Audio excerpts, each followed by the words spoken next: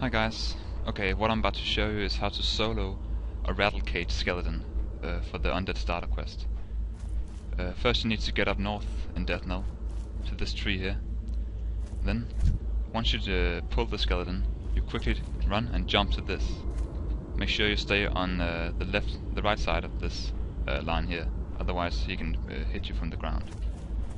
Okay.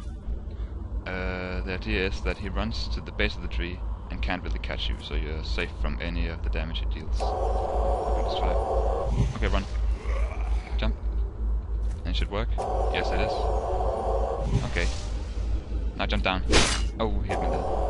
It might take a little bit of damage, but it shouldn't be enough to kill you. Okay, oh fuck. He's dead.